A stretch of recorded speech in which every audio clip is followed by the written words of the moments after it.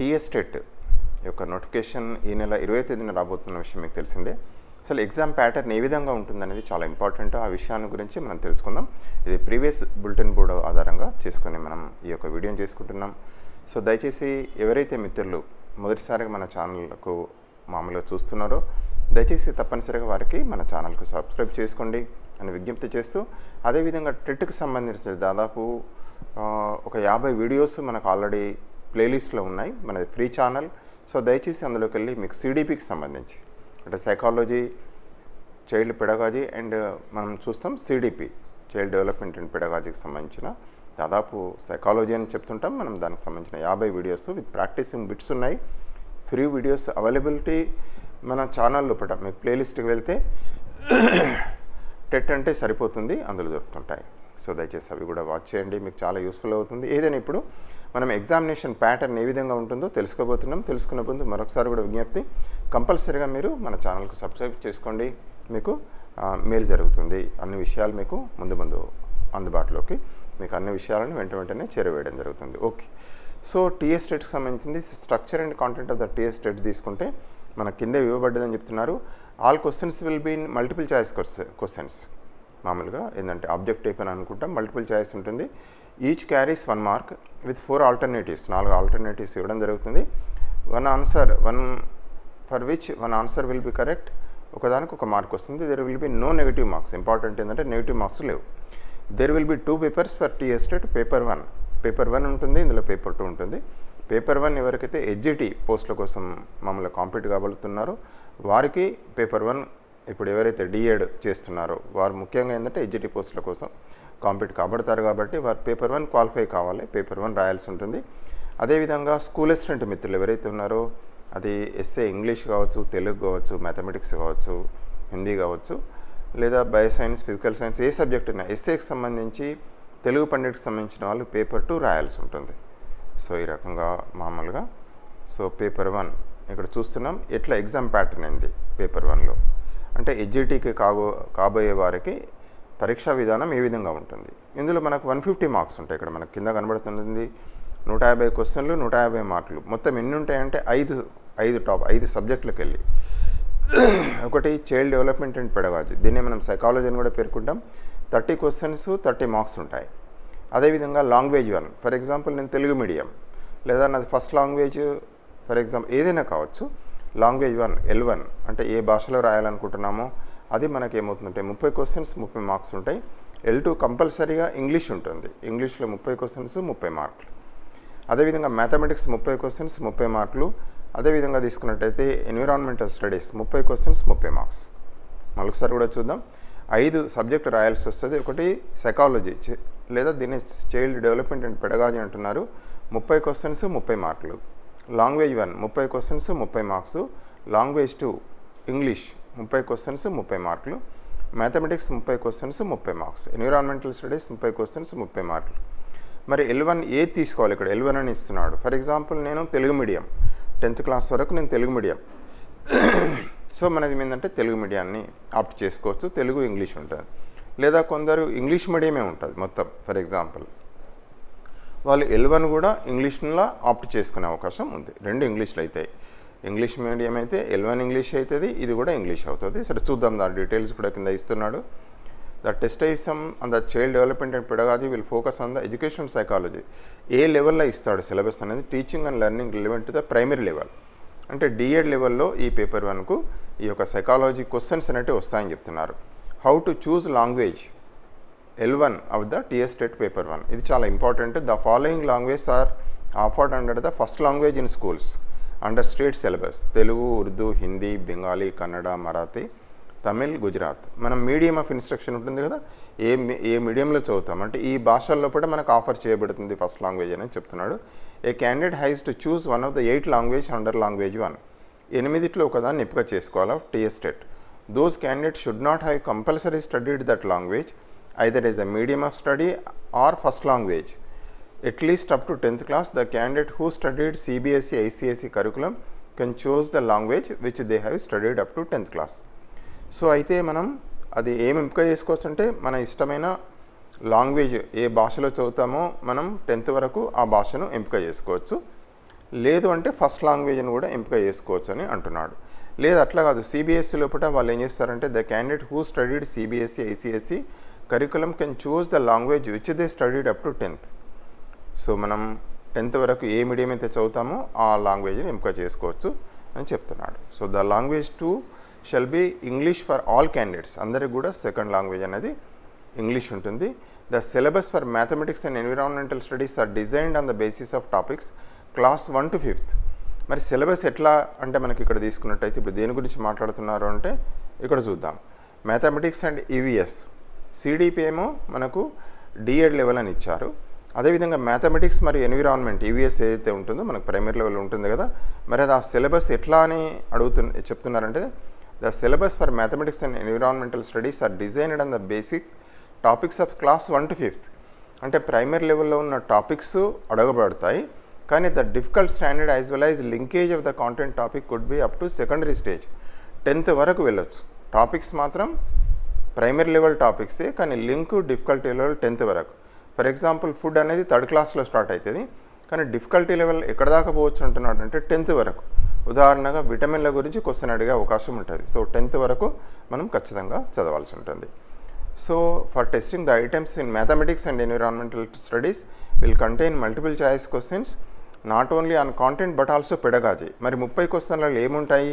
అని అంటే మామూలుగా మ్యాథమెటిక్స్లో కానీ ఈవీఎస్లో కానీ కాంటెంట్ పరంగా ఇరవై నాలుగు మార్కులు ఉంటాయని చెప్తున్నాడు. And six marks pedagogy. అంటే మనం ఏదైతే మనం డిఎడ్లు చేస్తామో పెడగాజీ బోధనా శాస్త్రం చేస్తాం కదా ఆ యొక్క ఈవీఎస్ పెడగాజీకి వెళ్ళి ఆరు మార్కులు. అదేవిధంగా మ్యాథమెటిక్స్ పెడగాజీకి వెళ్ళి ఆరు మార్కులు ఉంటాయి. అంటే కాంటెంట్కి ఇరవై నాలుగు మార్కులు అదేవిధంగా పెడగాజీకి ఆరు మార్కులు. సో ఇక్కడ దయచేసి మరొకసారి కూడా చూద్దాం ఇక్కడ ఏంటంటే క్లారిటీ ఉండాలి సిడిపికి ముప్పై మార్కులు. అదేవిధంగా లాంగ్వేజ్ కూడా ఇక్కడ ఏముంటుందంటే ముప్పై మార్కులు ఇచ్చాడు లాంగ్వేజ్ టూ కూడా ముప్పై మార్కులు. కానీ ఇందులో కూడా మనం అర్థం చేసుకోవాలి. కాంటెంట్ ఏమో ఇరవై నాలుగు ప్రతి దానిలో కూడా ముప్పై ముప్పై కింద సెకండ్ థర్డ్ ఫోర్త్ ఫిఫ్త్కి వెళ్ళి కాంటెంట్కి ఇరవై నాలుగు మార్కులు ఉంటాయి పెడగాజుకి ఆరు మార్కులు ఉంటాయి. అంటే ఒక రకంగా చెప్పాలంటే మిగిలిన ఐదు సబ్జెక్టులు ఆరైదుల ఆరు ఐదు ఆరైదుల ముప్పై మార్కులు పెడగాజిగా ఉంటాయి. అంటే మనం చూ ఫర్ ఎగ్జాంపుల్ తెలుగు పెడగాజికి వెళ్ళి ఆరు మార్కులు ఇంగ్లీష్ పెడగాజీ ఆరు మార్కులు మ్యాథమెటిక్స్ పెడగాజీ ఆరు మార్కులు ఎన్విరాన్మెంటల్ స్టడీస్ పెడగాజీకి ఆరు మార్కులు. సో విధంగా ఆరు మార్కులు ప్రతి దానిలో ఉంటాయి. కాంటెంట్ కూడా. లాంగ్వేజ్ వన్ ఏదైతే ఉంటే తెలుగు తీసుకుంటే తెలుగు కాంటెంట్ ఇరవై నాలుగు మార్కులు ఇంగ్లీష్ కాంటెంట్ ఇరవై నాలుగు మార్కులు మ్యాథమెటిక్స్ కాంటెంట్ ఇరవై నాలుగు మార్కులు ఎన్విరాన్మెంటల్ కాంటెంట్కు ఇరవై నాలుగు మార్కులు. ప్రతి సబ్జెక్టులో కాంటెంట్కి ఇరవై నాలుగు పెడగాదికి ఆరు మార్కులు. అట్లా మనకి ఏంటి అంటే టోటల్ ముప్పై మార్క్స్ అవుతాయి. సో ఇక రకంగా చూస్తే లాంగ్వేజ్ టూ అనేది ఏమంటున్నాడు చూడండి. ఇచ్చాడు. అంతకుముందు చూస్తున్నాం సిలబస్ ఆఫ్ మ్యాథమెటిక్స్ అనేది ఆ యొక్క మార్క్స్ చెప్పాడు. The syllabus for the language one and two based on the proficiency in the language అంటే భాషా ప్రా అంటే లాంగ్వేజ్ ప్రొఫిషియన్సీ మీద అడుగుతారని చెప్తున్నారు. Elements of language communication comprehension abilities దానిపైన. In total thirty marks thirty questions under the language one and two each shall be included six questions and pedagogy of language ఇందులో ఇంతకుముందు చెప్పుకున్నట్టే ఎల్ వన్ ఎల్ టూ రెండింట్లో మరొకసారి back వెళ్తున్నాను వాళ్ళు చెప్పిన అంశం ఏంటంటే ఎల్ వన్లో ఫర్ ఎగ్జాంపుల్ తెలుగు తీసుకున్నాం మనం లేదా హిందీ తీసుకున్నాం. అందులో కాంటెంట్కి సంబంధించి ఇరవై నాలుగు ఉంటాయి పెడగాజికి సంబంధించి ఆరు ఉంటాయి. ఎల్ టూ ఇంగ్లీష్ తీసుకున్నాం ఇది కంపల్సరీ అందరికీ. కాంటెంట్కి సంబంధించి ఇరవై నాలుగు ఉంటాయి పెడగాజికి సంబంధించి ఆరు మార్కులు ఉంటాయి.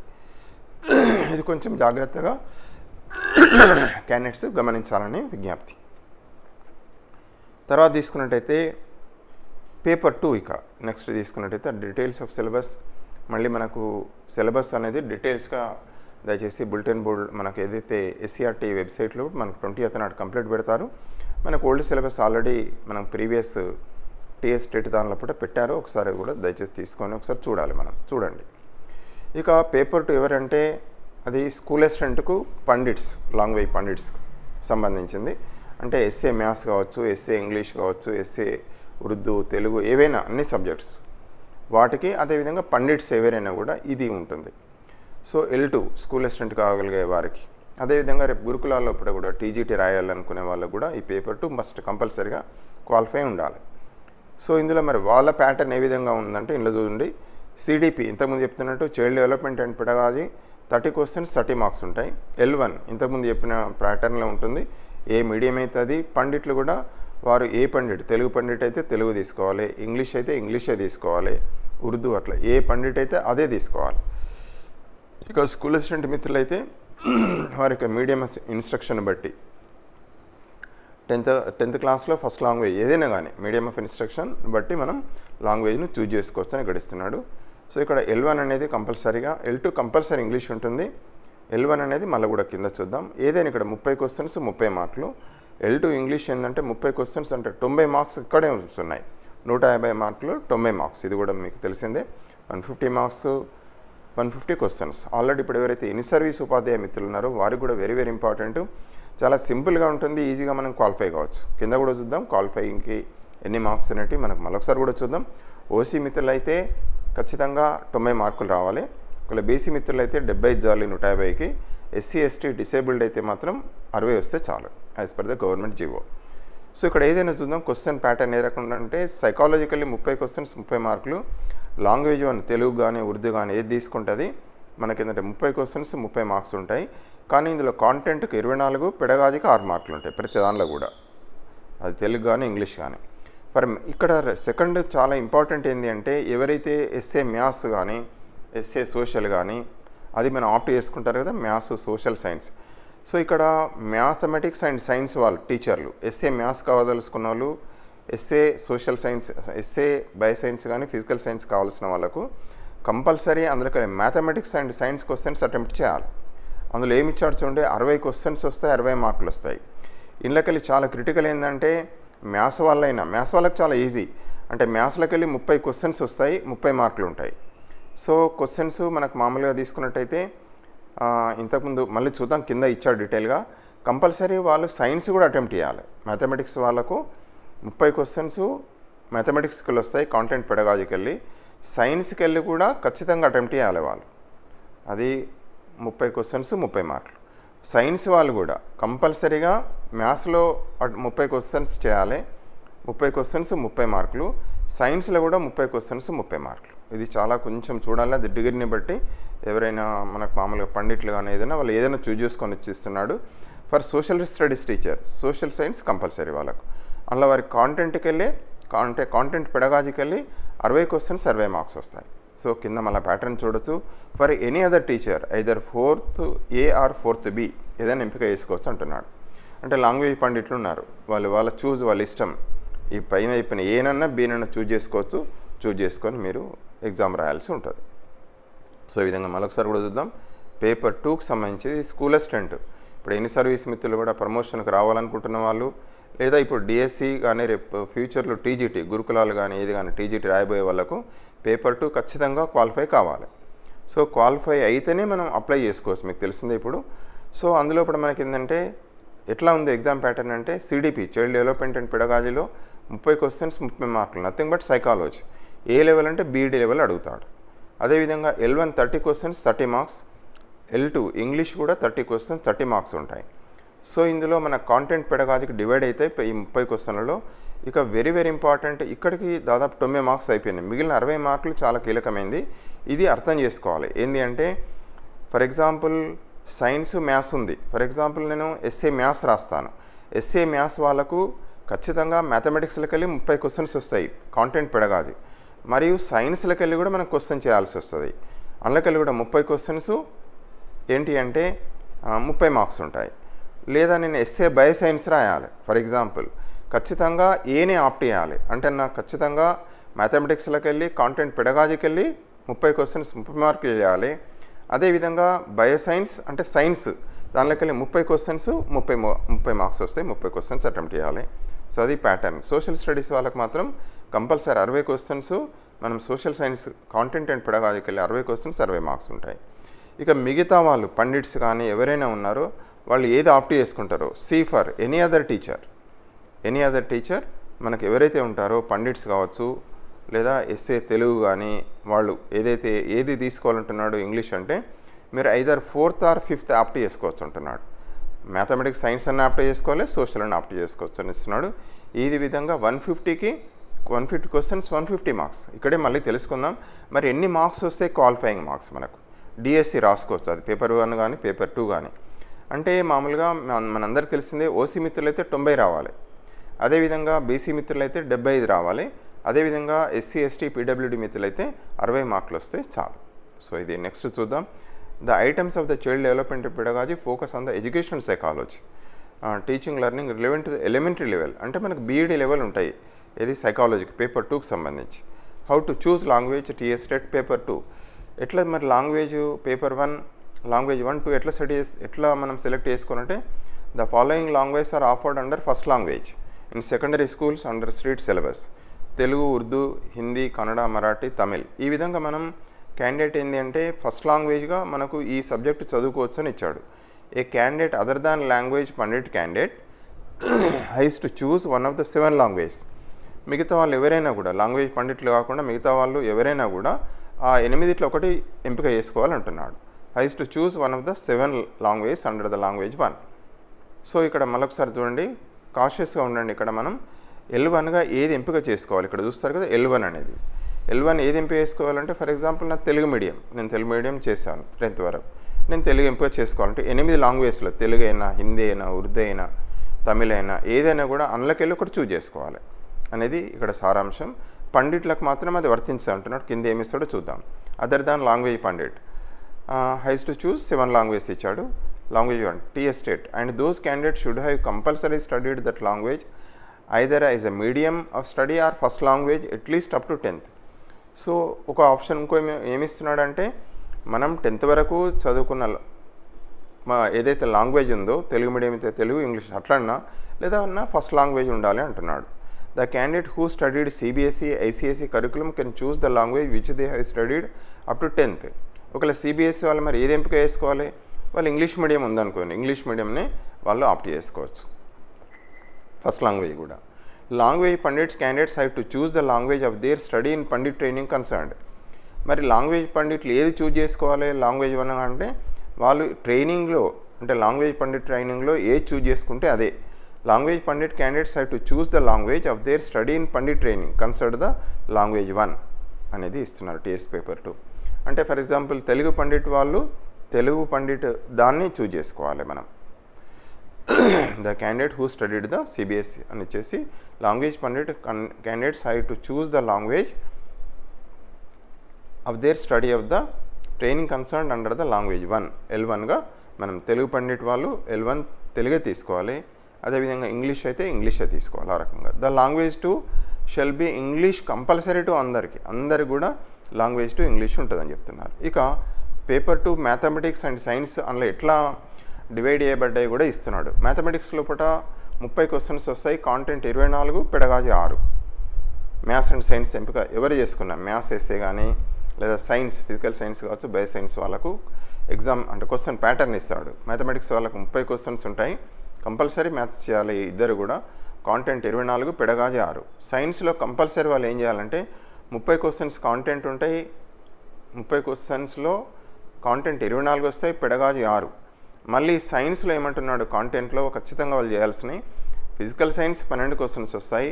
బయాలజికల్ సైన్స్ కాంటెంట్కి వెళ్ళి పన్నెండు క్వశ్చన్స్ వస్తాయి. అంటే అది మ్యాథమెటిక్స్ వాళ్ళు కావచ్చు ఫిజికల్ సైన్స్ వాళ్ళు కావచ్చు బయో సైన్స్ వాళ్ళు కావచ్చు ఖచ్చితంగా ఈ క్వశ్చన్స్ ఖచ్చితంగా వస్తాయి అటెంప్ట్ చేసుకోవాలి. సో మరొకసారి కూడా చూద్దాం. ఎందుకంటే ఇక్కడ కొంచెం కన్ఫ్యూజన్ లేకుండా ఉండడానికి మళ్ళీ ఒకసారి రిపీట్ చేయడం జరుగుతుంది. ఎస్ఏ మ్యాథ్స్ కానీ ఎస్ఏ బయో సైన్స్ కానీ ఎస్ఏ సోషల్ సైన్స్ కానీ ఎవరైతే రాస్తున్నారో ఖచ్చితంగా వాళ్ళు రెండు అంటే అరవై క్వశ్చన్లు ఏవైతే మనం ఇక్కడ అనుకున్నామో ఇక్కడ చూడండి సిక్స్టీ క్వశ్చన్స్ అనుకున్నాం కదా ఈ అరవై క్వశ్చన్లకు గాను వాళ్ళు ఎట్లా చేయాలంటే ఖచ్చితంగా మనం మ్యాథ్స్లోకి వెళ్ళి ముప్పై క్వశ్చన్స్ అటెంప్ట్ చేయాలి. సైన్స్లోకి వెళ్ళి ముప్పై క్వశ్చన్స్ అటెంప్ట్ చేయాలి. మీవి ఎట్లా వస్తాయి మ్యాథ్స్ అయితే కాంటెంట్ ఇరవై నాలుగు పెడగాజి ఆరు. సైన్స్ కూడా ముప్పై క్వశ్చన్స్ కాంటెంట్ ఇరవై నాలుగు పెడగాజి ఆరు. మరి కాంటెంట్ ఎట్లా వస్తుంది? సైన్స్లో అంటే ఇక్కడ ఏమొస్తున్నాడు?